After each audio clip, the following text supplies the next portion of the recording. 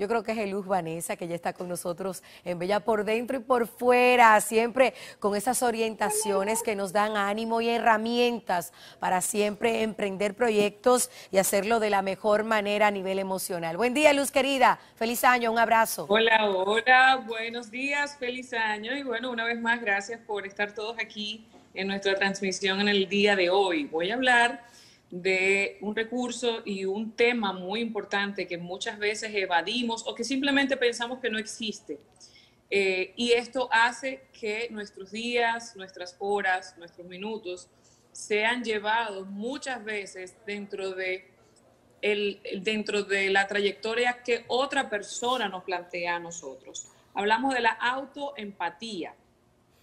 Eh, como latinos y en este caso como caribeños nos enseñan desde muy pequeños eh, la famosa frase de, pero ponte en el zapato del otro, para que tú lo entiendas, ponte en el zapato del otro. Cuando hablamos de manera coloquial, de la empatía es ponerme yo en el zapato del otro. Pero ¿qué sucede? ¿Quién se pone en el mío? ¿Quién está pendiente de lo que yo siento, del donde yo estoy y a donde yo voy? Entonces, nadie podemos esperar que recurra a este recurso cuando nosotros lo necesitemos. Y por eso existe la autoempatía. Y la autoempatía no es más que la habilidad para entenderse a uno mismo desde una perspectiva externa, es decir, mirarse a uno mismo, pero no no cerrar los ojos y mirarnos y decir, bueno, yo hice esto y hice lo otro, no, como si fuéramos otra persona. Agarrar un papel un lápiz y identificar aquellas cosas, más que todo en el año 2020 y qué queremos que suceda en el 2021. Sobre todo abordar mis sentimientos, mis situaciones y mis dinámicas, mi comportamiento. Cuando hablamos de sentimientos, emociones, hablamos de cómo me sentí en ese 2020 y si quiero repetir ese sentimiento, esas emociones en este 2021, ¿qué tengo que hacer para esas emociones negativas? Que abordaron en mí o que yo permití que abordaran en mí en el 2020, las voy a arrastrar. Si las arrastro porque simplemente voy a cometer los mismos errores o simplemente las mismas decisiones. Y si evidentemente queremos que no exista, pues tenemos que tomar en cuenta cuándo debemos de decir que no y cuándo debemos decidir que estas emociones no van a pertenecer en nuestro, en nuestro próximo día. Cuando hablamos de las situaciones, no es una no es un secreto que estamos en medio de una pandemia donde tenemos eh, reglas y normas que seguir y que cumplir a través del gobierno, que este, muchos se quejan, pero cuando miramos otros países, en este caso yo nací en Venezuela, aunque tengo 21 años en la República Dominicana, gracias a Dios. Venezuela en el día de hoy está cerrado siete días y abierto siete días, es decir, te quedas en casa siete días y sales de casa por siete días con limitaciones. No hay gasolina, tienes que hacer una cola eh, en tráfico por dos o tres días para que te puedan llenar el tanque de tu vehículo. Entonces, a la final, claro, vamos a tener empatías por otros, pero nosotros, ¿qué tenemos por nosotros mismos? Eh, cada vez que abro las redes sociales en los últimos dos o tres días, lo que hay es como una ebullición. Eh, tratando de liberarnos. Claro, todos queremos liberarnos de esta pandemia, pero aún falta más. Y simplemente lo que tenemos que hacer es cambiar ese sentimiento de ansiedad, de que estoy harta o estoy harto, con ya falta menos, ya falta poco. Asimismo, con aquellas metas y aquellos retos que te has planteado y que aún no los has podido cumplir.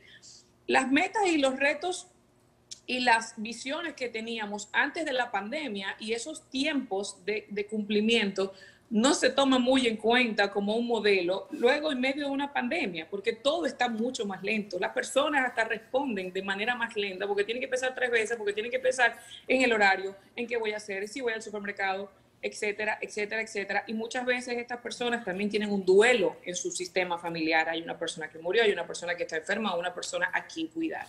Entonces, Vamos a comenzar, es mi recomendación. Si me ven aquí hay mucha luz porque yo me tomé unos días para mí, sin mis hijos, sin mi familia. ¿Qué? ¿Y eso es válido? Hasta el día de ayer. Eso es válido. De eso voy a hablar la próxima semana porque muchas veces la gente cree que ser mamá perfecta es estar inundada hasta, hasta los rolos en la cabeza y haciendo comida y atendiendo y pasando mala noche. No, ser una super mamá para ser súper mamás, para ser súper empresarias, para ser súper profesionales, necesitamos tener la super empatía con nosotros mismos. Yo, en mi caso, trato eh, diariamente de abordar aquellas emociones, aquellas situaciones y aquellas dinámicas que no me gustaron, que se crearon en mi mundo, en el ambiente y que yo tuve una acción o una reacción.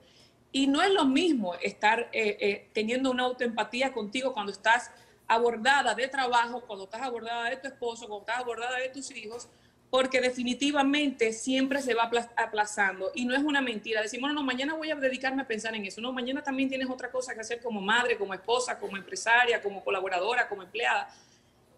Tenemos que tener un, un, yo me tomé 24 horas, fue lo que yo le pedí a mi familia y de hecho lo pido cada dos y tres meses, 24 horas para mí. Si usted que me está escuchando en este momento tiene la posibilidad de dejar un poquito de lado el celular, al menos que tenga alguna situación o alguna condición de alerta con algún familiar o algún, algo muy inmediato, trate de hacer su tiempo de autoempatía. Hay que mirar las, eh, aceptar las áreas de debilidades que tenemos, pero no caer en zonas de confort. Mucho cuidado con eso. El luz, pero ¿qué uno hace en ese tiempo sola? Va a un resort, eh, va a un club, se queda acostada. ¿Qué uno hace? No, porque esto, no, no, no. E, esta, esta, esta, este abordaje no va dirigido a una persona que tenga recursos financieros. Yo tengo una casa fuera de la ciudad y me lo puedo permitir fuera de la ciudad. Pero si usted tiene un parque enfrente de su casa, si usted tiene este, aquella vecina que vive sola y que esa casi no hable, que esté segura, eh, que usted quiere ir a la esquina de su casa que no hay nadie, o simplemente al patio porque todo el mundo está dentro de la casa, es un rato para usted, pero un rato de calidad. No esto no tiene que ver con medios sociales ni tiene que ver con fines económicos. Usted no tiene que agarrar un traje de baño e irse a un resort a sentirse que usted está. No, no, no, no. No, es diversión, sino en reencontrarse, no, evaluarse. Es un encuentro contigo misma, evaluarte desde afuera. O sea, como si tú fueras. Yo, esta es luz, y esta es otra persona que está mirando a Luz, está diciendo, ¿qué pasó con el Luz? El Luz tiene que abordar esto, abordar esto y abordar esto. Sus lo voy a copiar, Sus debilidades y sus situaciones. Gracias, Luz. Se lo recomiendo y sé que van a mirar diferente la vida. Ya yo la estoy mirando. Es más, mis 24 horas no han terminado y yo quiero volver a casa. Sí. O valió la pena. Ah, bueno, cargó pilas el luz. Yo le voy a copiar ese método. Yo imagino que muchos de ustedes también, hombres y mujeres, ¿eh? aunque el segmento de Bella por dentro y por fuera, también ustedes pueden ser bellos. hombres y mujeres, por dentro y por fuera. Gracias, Eluz. En pantalla. Recuerden que falta poco, falta menos. Vamos a aguantar y vamos a aguantar con, una, con un comportamiento pacífico y vamos a ayudar a todo aquel que esté de manera no empática, vamos a crear empatía y vamos a apoyar. Gracias. Un abrazo. En pantalla los contactos de Luz Vanessa. A través de esas vías que están en pantalla pueden ustedes eh, de manera directa hablar con ella, sus sugerencias para este segmento, también cualquier situación con alguna asesoría, tanto por dentro como por fuera, señores. Hay que proyectar la mejor imagen.